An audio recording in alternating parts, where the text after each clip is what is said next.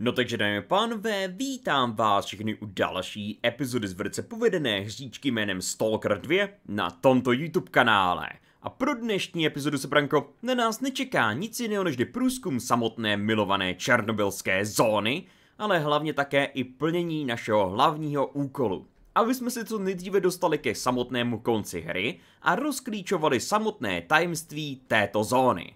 Ale co pak tedy na nás čeká, tuto chvíli vás opravdu překvapí. Ріхта! Чи загадався, чи спить. Скіфе? Що ти тут робиш? Та трохи життя живу. Поглянь, як тут. Ей, до краю не підходь. Ну хіба не прекрасно? Гори сміття. Побутового, людського. Хіба ні? Тут ти можеш знайти все, Скіф. Друзів, ворогів, гроші, смерть, чудо, навіть самого себе. Ти колись був у центрі зони?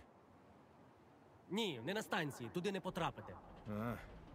Чому сталкерів так тягне на ЧС? Тому що станція це центр. Вау! Сама суть зони. Але там нічого не лишилося. Розкрадена піраміда. Кажуть, навіть виконавець вкрали. Проте бував в Прип'яті. І цього якраз на коло вистачить. Що що? Ми нажерлись якось і пішли на чортове колесо. Ніхіра його не запустили, але покружляло нас офігенно! Якщо вже ворони на смітнику гніздяться. Скіфе.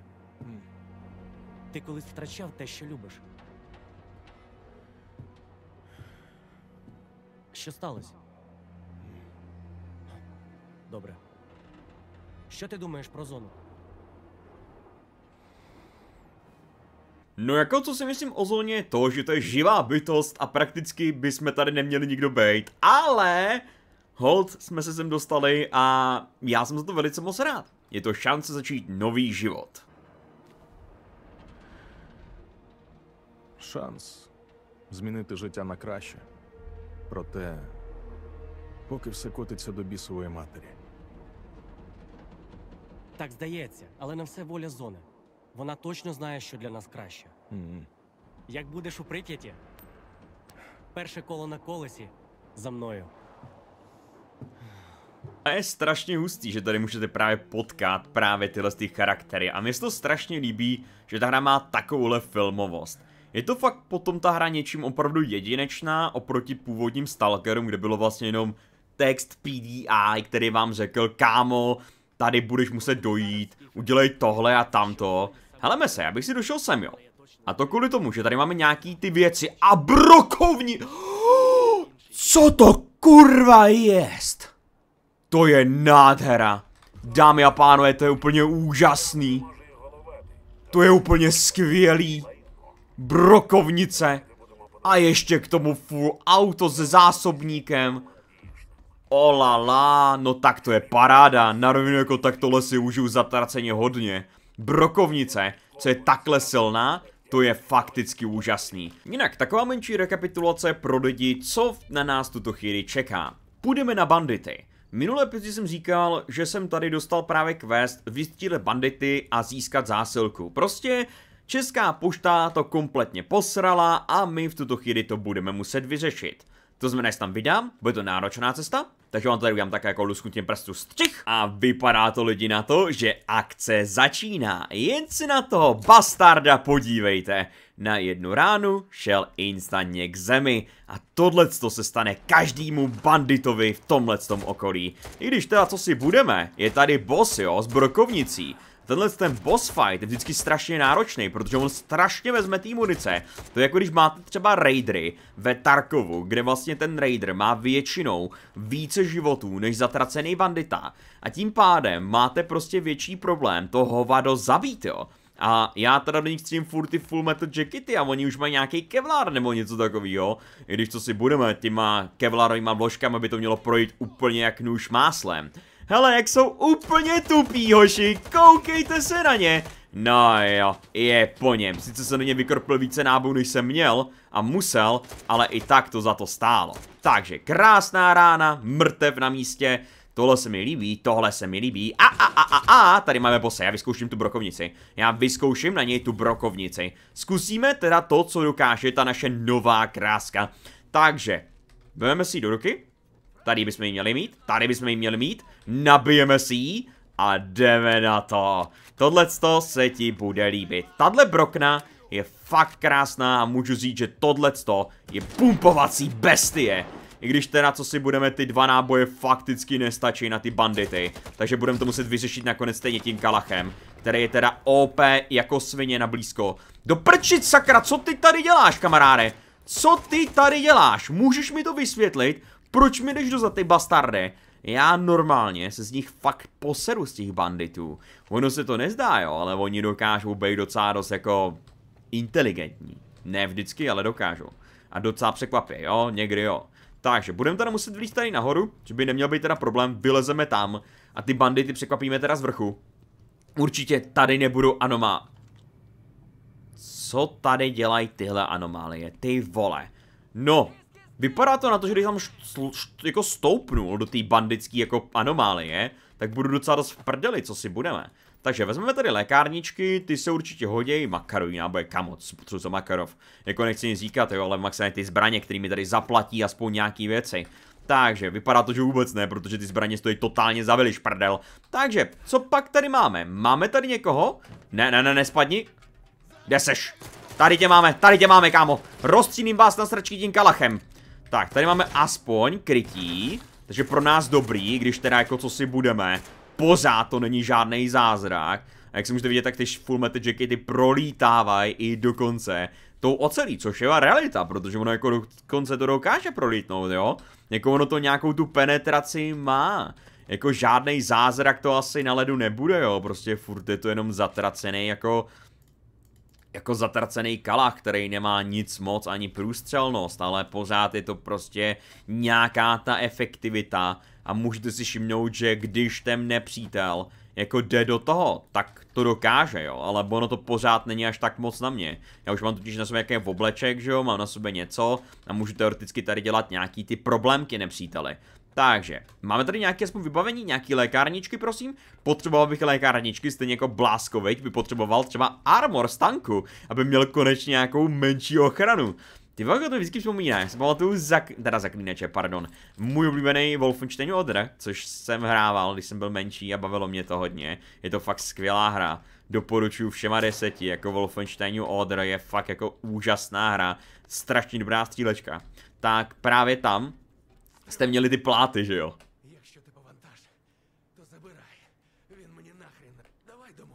OK, tak mluv.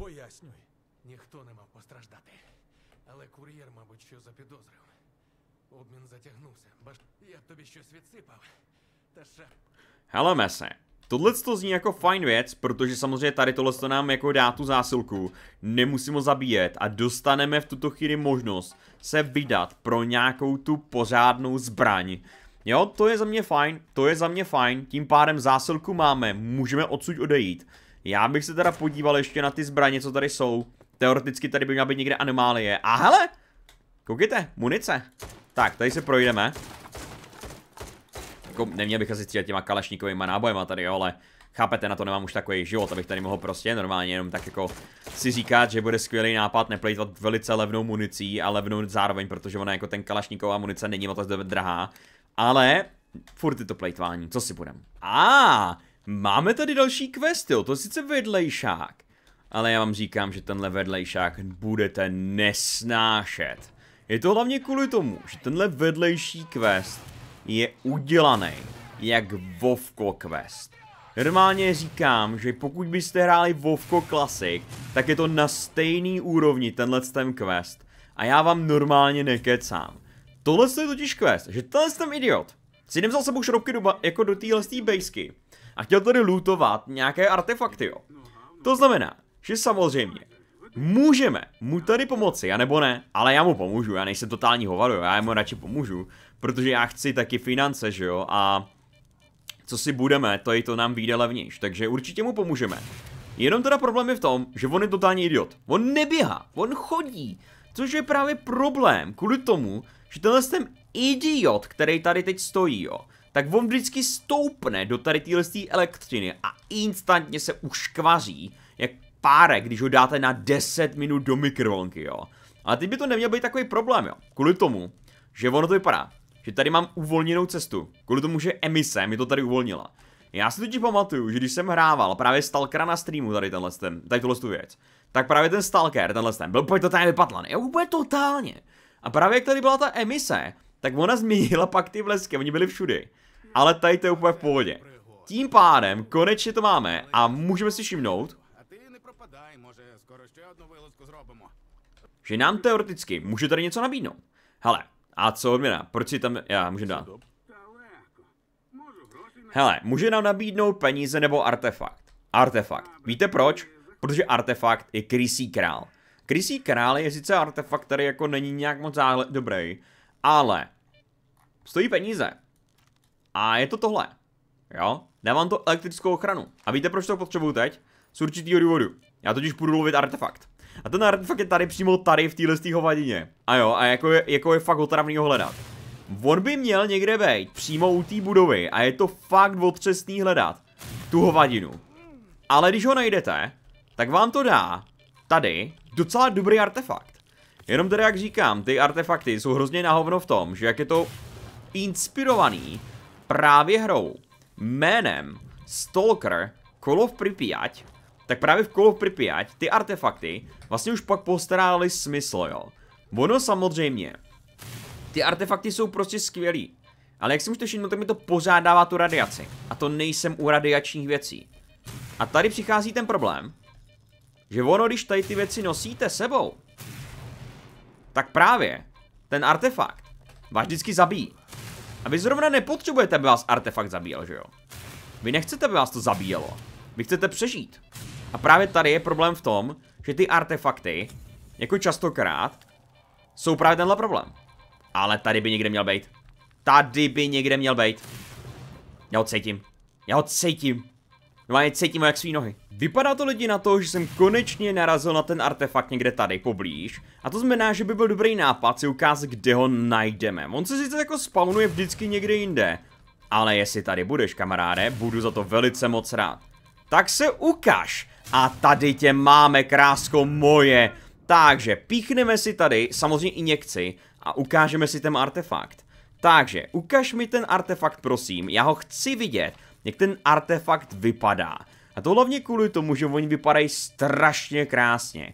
Koukejte se na to, to vypadá jak normálně takový to, co měl Lombotom ve ve tom, ve Harry Potterovi, anebo Harry Potter, takovou tu svoji specifickou kouli, kterou měl právě, když bylo v pátém díle, nebo to byl pátý díl. No ok, dorazil jsem si samozřejmě k obchodníkovi, tak si ukážeme na tom aspoň, kolik jsme vydělali z toho jednoho raidu. Takže, prodám tady AKčko, protože zrovna není až tak dobrý a je rozbitý. Ty artefakty já nevím no. Jako tohle nedává skoro žádnou, je to prostě běžný artefakt. Tohle dává prostě tu výdrž, no, střední. Ale, hele, vyplatí se tenhle mít, tenhle určitě ne. Protože tenhle se prostě nevyplatí. Já si nechám radši tenhle artefakt, který má aspoň nějakou tu hodnotu, jo. Jakože tam to je fakt na hovno. Tam to je prostě nějaký artefakt, který jako by vám dá možnost trošku být lepší proti třeba radiaci a takým věcem. K čemu to potřebuju? Jako já chápu, je to cool, ale k čemu to potřebuju? Jako já fakt nepotřebuju tuhle tu sračku. Já reálně potřebuju pořádný artefakt, který mi pomůže. Protože jako, jo, je to fajn, ale zase jako budu radši za nějakou lepší jako munici nebo něco takového, než tady řešit třeba to, proč mám tady furt průrazný 760 lidi. Já nechci používat RPKčko, protože bych tahal sebou těžkou krávu ty vole. Já nepotřebuji, sebou tady tahal, normálně nejtěžší věc na světě. Tak, prodáme ty věci, získali jsme aspoň nějaký goldy a teď máme odevzdat tu zásilku jemu, že jo. Tím pádem, kámo, mám tady ohledně té ztracené zásilky, dám ti to tady, a tím pádem jsme získali kupony. Dostali jsme 1600 kuponů, to je v celku v pohodě za mě. To je docela dost hodně peněz, ne úplně moc, jako jo, furt je to hovno úplný, ale furt je to lepší než nic. A tím pádem bychom teoreticky mohli dostat třeba k těm okopům nebo k něčemu jinému. Vypadá to, že tady máme výkopy, tady máme bandity. Tady by měl být nějaký banditi, že jo? Prolení labirintu, ty vole, do labirintu. Já se vsadím, že to bude nějaká úplná hovadina, ty vole, kde budu prostě mít velký problémy. A já si teda na sebe hodím teda ten artefakt, jak jsem ho získal. Aspoň budu rychlejší, takže jdeme na to, jdeme na speedovaný, jo. Můžete vidět, že trošku ta výdrž tady je prostě, no, jakože aspoň trochu můžete rychlejš běhat. Samozřejmě není to žádný zázrak, jo, je to prostě úplný hovno, ale pořád je to lepší než nic. A já teda aspoň jako můžu rychlejš běhat.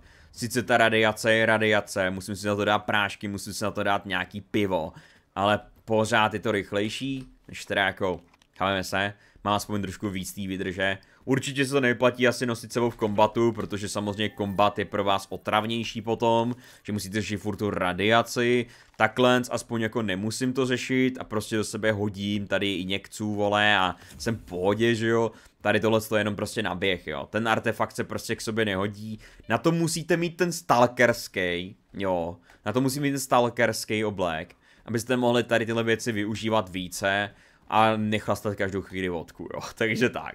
No ale jsme teda u těch okopů, no. Tady slečinky. Jdeme hledat. Tady máme teda něco jako najít, nebo nikoho najít.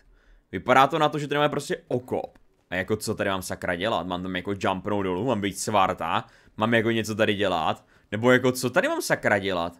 Jako tady mám prostě nějaký jako questík, ale jako neřekli mi teda jako co tady, ty tady je hromady sraček. Hmm, tady je radiace hodně no. Tohle vypadá fakticky nepří... A ah, ne, díra dolů. Já nechci nic říkat, jo, ale jako jestli když vidím díru, tak to není dobrý nápad tam líst. A jako... Já chápu. Ale Pivson. Aspoň se zbavím té posraný radiace. Tak, tady máme teda díru, úplně až do prdele a mrtvýho inženýra. To je teda fajn. Ne, že ne. Takže vezmeme tady věci. A já se vsadím, že tady bude nějaká mutace, ty vole, nějaký mutagen, který nás bude chtít tady zabít. Já to slyším. Co to do prdele je? Oh, dědek! Zatracený trpaslík! Chcípni ty, děvko! Chcípni! Ne, ne, ne, ne, ne, ne, ne, ne, ne, ne, ne, ne, ne, vůbec. Tam nejdu. Takže, tohleto je náš telekinetický trpaslík. On se dá jednoduše zabít. Brokovnicí. Takže využijeme tuhle krásnou zbraň, kterou jsme získali a jdeme tu svině odpálit. On totiž umí jednu věc, jo. On totiž umí právě tak trošičku splodit zpátky svý mrtvý. To je velký problém. Protože já ho nezabiju prostě jednoduše.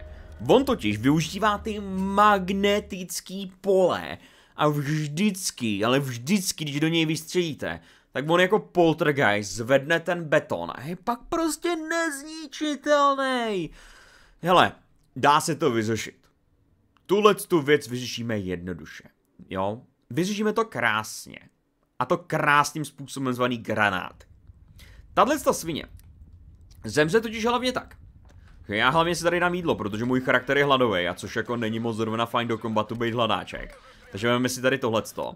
Samozřejmě tady je hromady radiace, což je taky velký problém. A hlavně uděláme prostě jednoduchou věc. Já, já, jo, já vemu tady granáty. A hodím tomu trpaslíkovi. Pod ty jeho hnáty ty granáty. No pojď, no pojď trpajzlíku, pojď. Chytej granát, kámo, chytej ty granáty. Já vím, že tady budou prostě těžký kulomety, já to vím, budou po nás střílet granátomety, ale tenhle trpajzlík, chcípne strašně rychle na to, že já budu moci ho prokropit. Počkej, on chcípl? Nechcípnul, tady je další. Takže chlapi, do prdele, přestaňte do mě kropit, sakra. Já chápu, že tady jsou zatracený zombíci, který po mně budou střílet jak monolitáci. Ale jako není to zrovna něco, co bych potřeboval. Takže prosím, granát do ruky. A trpaslíkovi granáty na něj, pojď. No pojď kamaráde, granáty ti aspoň pomůžou. Ty jako sice jsou úplně jako krásně, že nebouchají moc velký, jo, jako nic moc nedělají mu. Jak si můžete všimnout, to prostě otrava na něj zabije to granátama. Ale on prostě chcípne po nějaký době, takže hodíme tam granáty. Ono ho to prostě nějak zabije, jo. Ty vole, tady vypotřebuju tolik lékárniček na tuhle tu bestii. Jako nečekal jsem, že hlavní úkol bude tenhle ten malej skurrysin. Tak, zdechni. Zdechni. Degeneráte jeden, umři. Konečně. Vydechni naposledy. Vypadá to, že mě zabili. Takže paráda, ale jsou tady monolitáci. Protože mám ten Makarov na ně, jo. Sice jako oni nejsou moc úžasný, jako nejsou silní. Ale pořád jako, aha, Tady nám umřel jeden, takže ti dáme lékárničku. Na, tady máš. Prej snad nejvíc... Heleme se, neznáme se.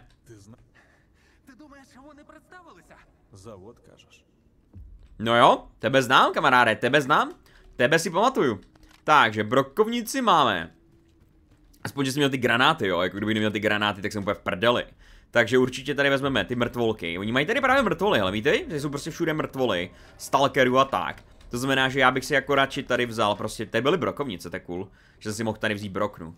Takže, vyndat náboje, vybavit ne, spíš si vezmeme tohleto, vemu tady všechny ty PDAčka a tak, které jsou potřebný. Tak, vezmeme tady munici, protože aspoň náboje do kalachu jsou vždycky... Jo, koukejte se na to, to je prostě zrůdnost. To je jako kdybyste vzali Sidoroviče a udělali z něj malýho trpaslíka. Máme tyhle ty kinetický bastardi, oni jsou strašně silní v tom Stalkerovi, jo. Oni jako chcípnou, ale strašně dlouho to trvá. A prostě to je jeden největší problém na nich, jo. Že prostě když je chcete ustřílet, tak to hrozně dlouho trvá. A musíte prostě do nich kropit o 106. Takže, půjdeme tady nahoru. Tady by někde měli být další trpajzlíci. A hlavně tady je artefakt určitě nějaký. Munice. No to je fajn. Náboje se hodí. Náboje se prostě hodí. A jako těch nábojů mám hromady už teď.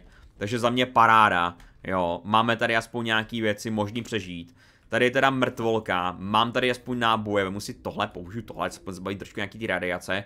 Já bych si tady vzal asi vodku, protože ta radiace z vodky vždycky strašně rychle uteče. Ono to je docela dobrý věc, jako ta radiační vodka. A tím pádem jsme splnili teda tenhle ten questík, jo. Splnili jsme tenhle questík. To znamená, že dáme plánové. Pro tuhle epizodku už to bude všechno, protože jsme dneska udělali docela rozhodně věcí. Já jsem teda jako tady udělal to, že jsem zašel artefakt, získali jsme zbraň, potom samozřejmě jsme prošli jednu vedlejší misi a to je docela za mě krásný, ne jako. To znamená, že dáme pánové pro tuhle epizodku teda všechno. Já se loučím a děkuji, dokud jste to koukali video až do konce. Pokud se vám líbilo, nezapomeňte like pod sdílením a pokud se vám líbí tenhle ten content, tak nezapomeňte zanechat odběr a kliknout na zvoneček, a nemějte žádné jiné video. Určitě, samozřejmě, pokud budete chtít, tak samozřejmě můžete také podpořit na pomocí financí, stejně jako dělali členi, který to podporují každý měsíc, což opravdu moc děkuji. A jedna věc nakonec, jo? Všimli jste si, že v tom oranžovém obleku a s touhle brokovnicí vypadám jak Gordon Freeman? A ne, ne, dámy a pánové, ještě pro poslední věc tady máme bandity. Takže si ještě užijeme vykropení tyhle bastardů. No jo, hoši, já vám říkám, tady zdechnete velice rychle. Tady zdechnete velice rychle. Nečekal jsem to, že poslední věc, co tady v téhle části epizody uděláme, bude pokropení těch zatracených banditů, ale aspoň pro vás bych to tady mohl udělat. Ať trošičku natáhneme ještě ty nádherný watch timey. Takže, to prdele, mě se sekla zbraň, mě se sekla zbraň. Nabij to, nepij energeťák, sakra, nepij ten energeťák. Hodím ti tam granát, chytej. Chytej granáty. Aspoň chcípni. Tak, pojď na to. Pojď na to, zlato. Ať to stojí za to. Tohle se vám bude líbit. A je to tam? Takže to je všechno. Já se loučím teda. A zdarec sranec.